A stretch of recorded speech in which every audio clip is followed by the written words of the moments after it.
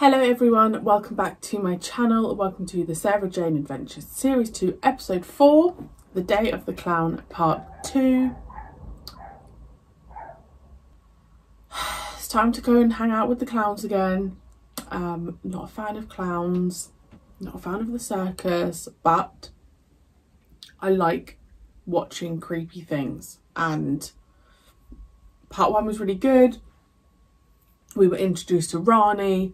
She seems really, she seems, because Maria was a strong character, right? But Rani seems, seems like she could, she could fill Maria's shoes. Um, she already believes that there are things out there, which I think has been a massive help. And I'm excited. I am also very intrigued that it is Bradley Walsh playing the clown. Um, I obviously I know him as Graham in Doctor Who, and I loved him as Graham, but for me, he's best known as a presenter. So it's it's quite nice, kind of seeing his uh, acting skills, and I'm very impressed by him. I think he's plays a very creepy clown. So let's. Gosh, I'm I'm just so excited to see more creepy clowns. Oh, sweet.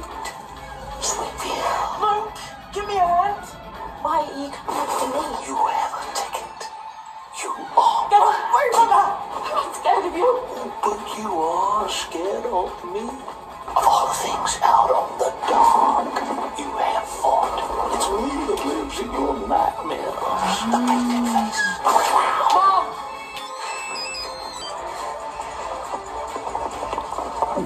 phone call. Magnetic wave must have temporarily interfered with Storm's energies. They must have a similar frequency, but it won't last. Isn't someone going to tell me what's going on?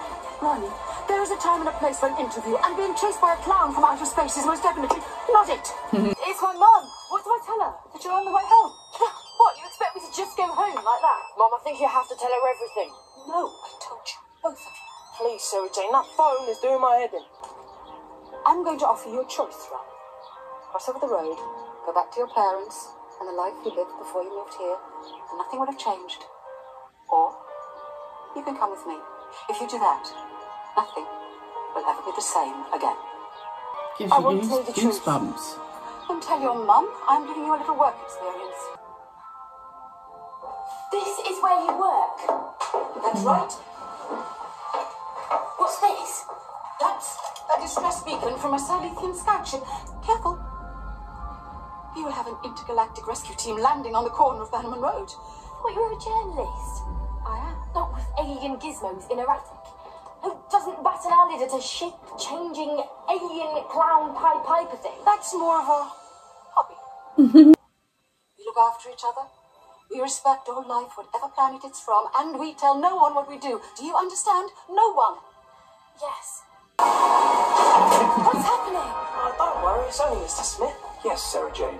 How can I help you? It's a computer. A talking computer. You've got a talking computer in your wall. Actually, he's a Xylok, a crystalline life form, just about the smartest in the galaxy. I'm detecting traces of an alien energy. Hmm. What sort of energy? I can find no comparable data for analysis. So, this is something from way off. Now, Mr. Smith, show me the historical extraterrestrial records for Lower Saxony in the 13th century. The year before the Piper arrived. Yes, the Piper was in the meteor result. The meteorite had a diameter of 30.12 centimeters. An unlikely spacecraft, Rani. Still, what do we know about it? The meteorite is currently on loan for scientific research from the University of Munich. She likes UK. her. But I'm already involved. Odd Bob is coming after me and every other kid that has one of these tickets. This is a foregut defense field emitter. Turn it on, place it in the middle of your room. It'll throw up a force field that will stop anything getting in to harm you. Beyond that, make sure that you are hmm. never alone. Is that it? And I promise you, Rani, I will stop Spellman. Even if you do, you can't expect me just to live across the road and forget about all of this. Yeah, No, but I, I wouldn't be able it a secret to. to never tell anyone.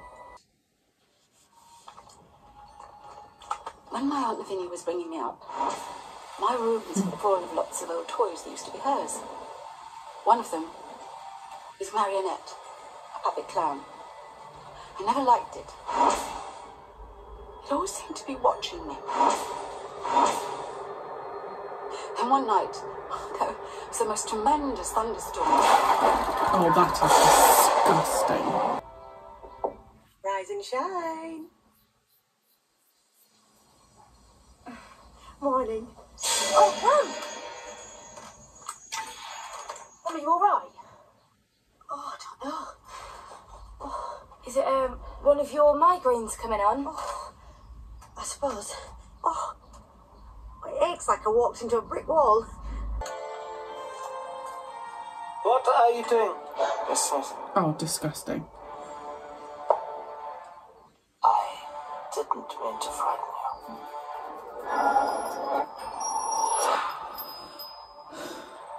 I'm going to find out what you are, Odd Bob. We're only scared of what we don't understand. What a name, Know Odd Bob. where you come from, what you really are. I will stop you. Suppose there isn't anything to be understood. Tell me about it. So was Maria one of you then, a fearless alien hunter? Yes. And that's what you meant when you said we couldn't be friends in the same way. He's here. The balloon, is oh, odd, Bob, he's here. What's going on? Oh, God. It's as if the balloons are taking control of them.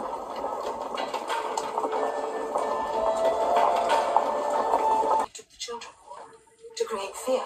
And it's been doing the same thing ever since. Mum, I think you better get down here. Hey, turn around! You don't know what you're doing! Just, I, You're in danger, all I was you! going to say you could snatch the balloons out of them, but then back! Where are you going? you'd be touching the balloon. Get some scissors, The head of the snip. circus museum. See what he was talking about. He's going to make the whole school vanish. Look, whatever you do, don't follow them into the museum. I'll be there as soon as I can. Connected now.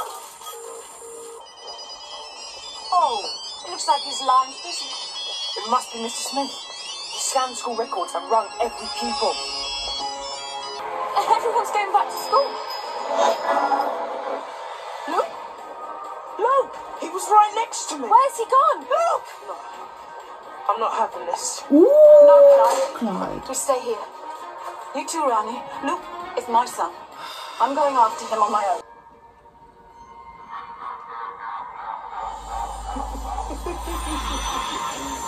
Feldman, where are you?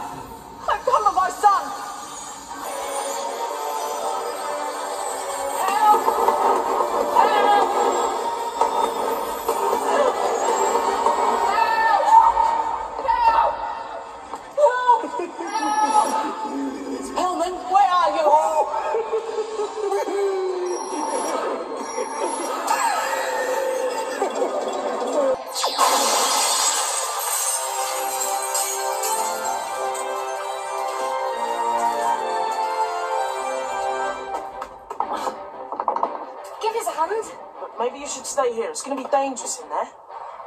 Would Maria have stayed out here? No.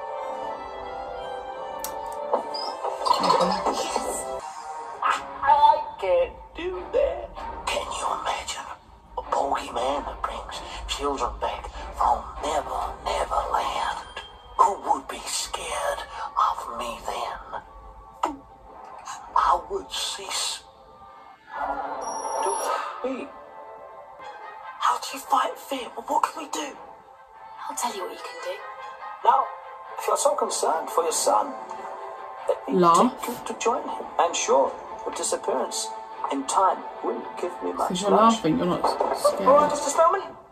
Listen to this. Two Ariels got married. You should have seen the reception. Clyde, Another child. Stop it now. what's wrong, Mr. Spellman? Does the sound of laughter upset you? Does it frighten you? You will fear me. It's getting weaker. Two fish are in a tank. One said together, Do you know how to drive this? An optician tells a guy he's colorblind. Well, that's about out of the green. How did Count Dracula escape from Transylvania? He used a blood vessel. I went to the dentist. He said, Say R. I said, Why? He said, My dog's dead. That's it. Sing again, Miss Fanny. Aesthetic jokes. Hey, this is classic material. I'm not going to destroy you, Mr. Spellman. I'm just going to put you back where you belong. This is where you belong. That brought you to Earth. You've always been attached to it, but you were strong enough to resist its pull. But not anymore, Mr. Spellman. The nightmare is over.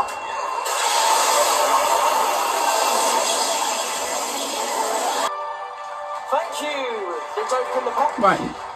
Where are the kids? Every alien busting team should have one. That was good thinking, Clyde. it, it was Rani's idea. Yeah, but I told him to be funny. Mum. Oh, look, look, look. So what happens now? She trusts me to keep all this secret. When it comes to getting a true glimpse of the universe, there are two types of people. Those who refuse to believe that would tell themselves anything to deny the evidence of their eyes. And those that embrace the universe and just how special life is. I wanted to stay that way by keeping it safe and secret. And that's me. Anyway, Haresh is making veggie chili for tea. You're all welcome to share. Oh, I'd love to, but I really need to get on with some work. But Lou, yeah, please. Come on. Haresh is always cooking far too much food. He's got this thing about dumb French. His mother always said I was far too skinny. I am so thrilled with the Sarah Jane Adventures. I know I am a broken record, but I was so worried when Maria left and whether we would get a replacement. But Rani has just like slotted right in, and I think that's to do with her having an open mind. I don't like it when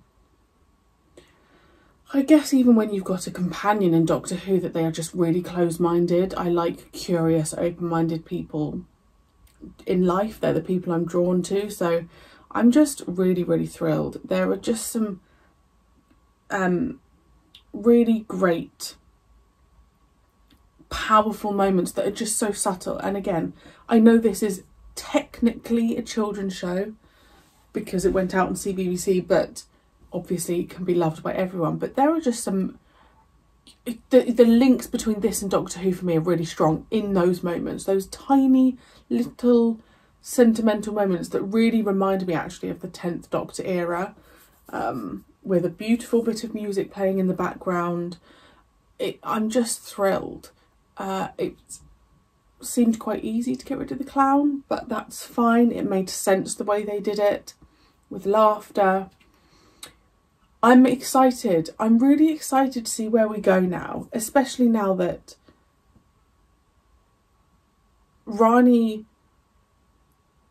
she had that device and obviously her mum walked into that